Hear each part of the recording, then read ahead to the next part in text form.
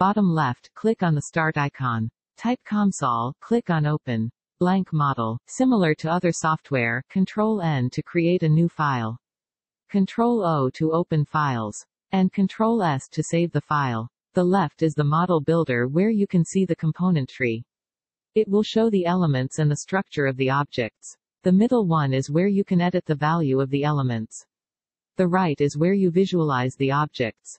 The top bar is where you add objects, elements, functions, etc. to your file. Normally, you would add component first, a component could be 1D, 2D, or 3D objects. Second, you go to geometry to give a shape to your component.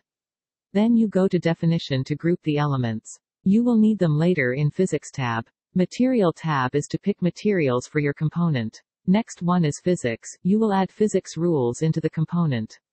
The groups you created in definition will help a lot. Then you create mesh. I still don't know what's this one for but I think if you want to print 3D, this will help.